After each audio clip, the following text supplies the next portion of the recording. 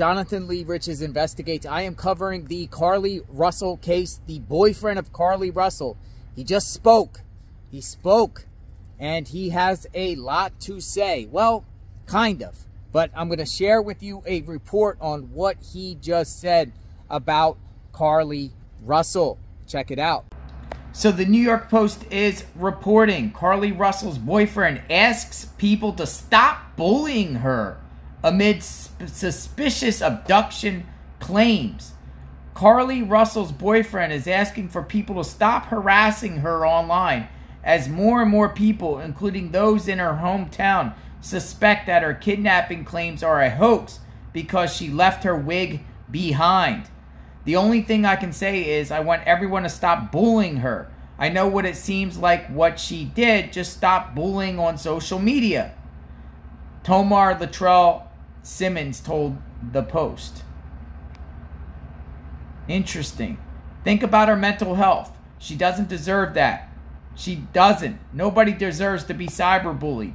Russell, 25 nursing student, vanished on July 13th after she reported to 911 that she had seen a child dressed in a t-shirt and a diaper walking barefoot along busy Interstate 459 in Hoover, Alabama as she drove home from her job.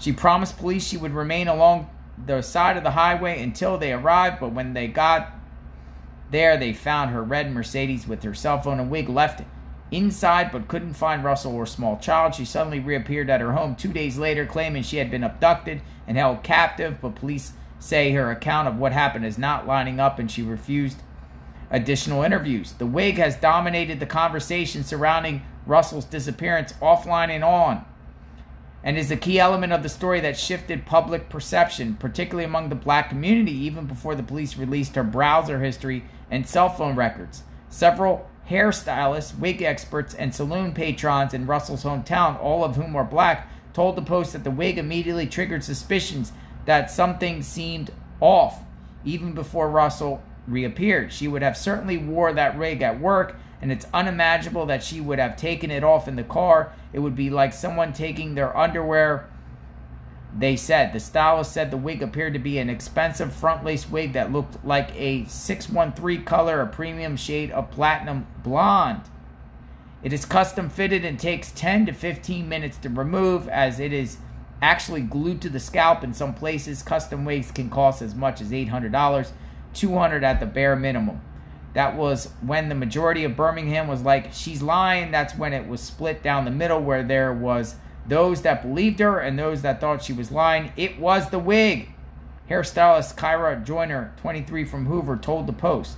First of all, your wig is going to be secured. Second, if someone's taking you, they're going to try to cause the least attention they can. If people see a wig on the side of the road, people call the police when they see mannequins' heads hanging out the side of our cars, she said. Andrew Townsend, a saloon patron from Helena, says it's unthinkable that a black woman would ever leave her wig behind in a car. When it happened, we were in shock, but once we saw the wig, just to know that wig was left behind, we don't do that. We don't do that. People were talking about. My husband and I were talking about it. He's a police officer. He immediately thought something doesn't sound right. So you got these hairstylists that claim the wig gave it away. But at the same time, Carlee's boyfriend is saying, stop bullying her about the wig. Interesting. So his main focus was Carlee being cyberbullied online, and he doesn't want people to cyberbully her. In particular, about the wig, about the wig that was left behind, the red Mercedes, when Carlee vanished or when she walked off or drove off with someone else. Wasn't a kidnapping, but people are talking about the wig or weave, whatever you want to call it, and the boyfriend doesn't like that, according to the post.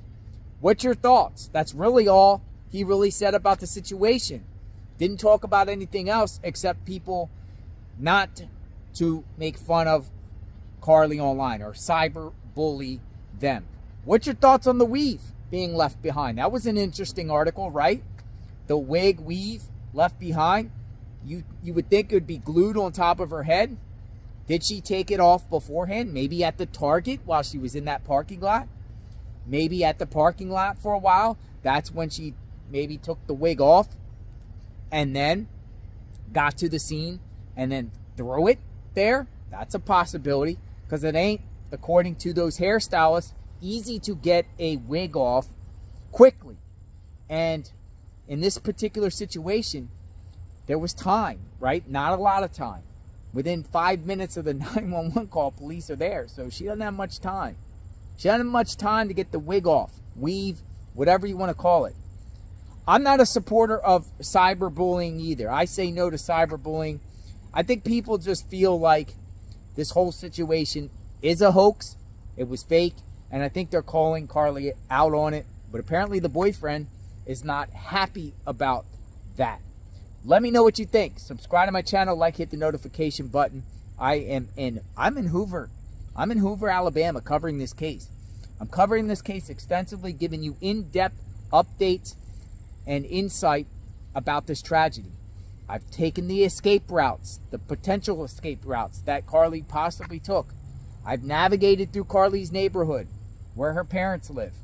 I spoke to neighbors, communicated with people with this case. So check out my Carlee Russell playlist. We will talk soon. Stay tuned.